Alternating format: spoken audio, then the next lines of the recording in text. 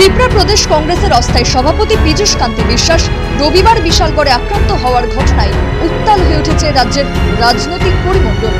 প্রতিবাদে সোমবার রাজ্যে বারো ঘণ্টার বন্ধ আহ্বান করেছে ত্রিপুরা প্রদেশ কংগ্রেস।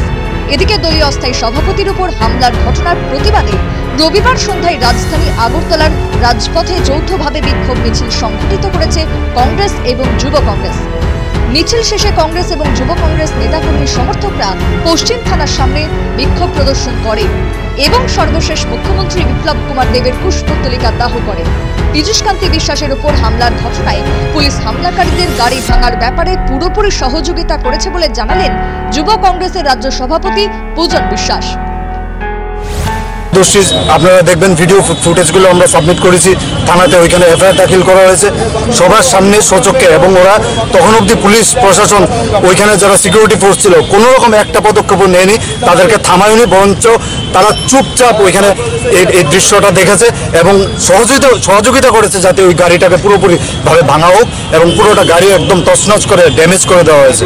তার প্রতিবাদে আজকে প্রদেশ কংগ্রেসের সিদ্ধান্ত অনুযায়ী আপনারা জানেন যে আজকে দুপুর দুইটার সময় আমাদের প্রদেশ কংগ্রেসের স্পোর্টস পার্সন এবং সিনিয়র ভাইস প্রেসিডেন্ট ওনারা মিলে প্রেস মিট করেছেন এবং সবাইকে মিডিয়ার দ্বারা অবগত করেছেন যে আগামীকালকে সারা ত্রিপুরা রাজ্যে গণতন্ত্র যেভাবে লুণ্ঠিত হচ্ছে, এই বিজেপি সরকারের আমলে এবং বিপ্লব দেবের নেতৃত্বে, সেটাকে যদি রক্ষা করতে হয়, তাহলে পুরো ত্রিপুরাবাসীর কাছে আহ্বান যে আগামীকাল ত্রিপুরা প্রদেশ কংগ্রেসের আহ্বানে বারো ঘণ্টা বন্ধ ত্রিপুরা রাজ্যব্যাপী। এটা সফল করার জন্য। শুধুমাত্র রাজধানী আগরতলাতেই নয়, এদিন বিভিন্ন মহকুমাতেও কংগ্রেস নেতাকর্মী সমর্থকরা ঘটনার প্রতিবাদে বিক্ষোভ মিছিল সংঘটিত করেছে। অমরপুরে এদিন স্থানীয় কংগ্রেস নেতাকর্মী সমর্থকরা মিছিল সংঘটিত করে মহকুমাবাসীর প্রতি বন্ধ সমর্থনের আহ্বান জানিয়েছেন। আমরা এই ঘটনার পরিপ্রেক্ষিতে রাজ্য কংগ্রেস বারো ঘণ্টা বন্ধ থেকেছে আমরা রাজ্যের আপামর জনসাধারণ এবং বিশেষ করে অমরপুরের আপামর জনসাধারণের কাছে ব্যবসায়ী মহল, যারা যান চালক আছে তাদের কাছে আমরা আহ্বান রাখছি, রাজ্যের গণতন্ত্র পুনরুদ্ধারের ক্ষেত্রে এই রাজ্যে যে বারো ঘণ্টা বন্ধ থাকা হয়েছে। এই বন্ধকে আমরা সফলভাবে সফল করার জন্য আমরা তবে আক্রান্ত হওয়ার পর এদিন বসেছিলেন না। ত্রিপুরা প্রদেশ কংগ্রেসের অস্থায়ী সভাপতি পীযূষ কান্তি বিশ্বাস। পরবর্তীতে তিনি এদিন পূর্বসূচি অনুযায়ী সোনামুড়ায় যান এবং সেখানে পূর্ব নির্ধারিত একটি সভায় যোগ দেন এবং গোটা রাজ্যের সীমান্ত এলাকায় ফেন্সিং নির্মাণের ব্যাপারে যে সমস্যা রয়েছে, সে ব্যাপারে তিনি একটি মামলা করবেন এবং সে মামলায় তিনি জয়লাভ করবেন বলে আশা ব্যক্ত করেছেন অস্থায়ী রাজ্য কংগ্রেস সভাপতি পীযূষ কান্তি বিশ্বাস। আমাদের পোস্টার দেখবেন সেটার মধ্যে আছে, আমি জানি, আপনাদের এখানে শুধু সমস্যা নয়।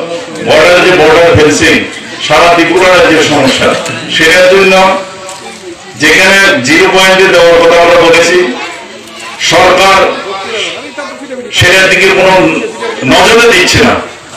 সেই জন্য আমি স্থির করেছি, আমি সারা ত্রিপুরার জন্য, আমি কিছুদিনের মধ্যে আপনাদের বর্ডার ফেন্সিং নিয়ে আমি মামলা করছি এবং আমি বিশ্বাস করি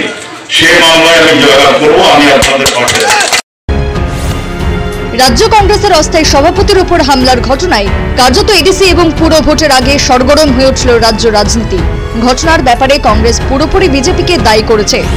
ঘটনা যদি সত্যি হয়, তবে উভয় ভোটের আগে বিজেপি কংগ্রেসকে লড়াই আন্দোলন করার জন্য জমি তৈরি করে দিল বলে রাজনৈতিক বিশেষজ্ঞদের অভিমত। Bureau report, News Vanguard.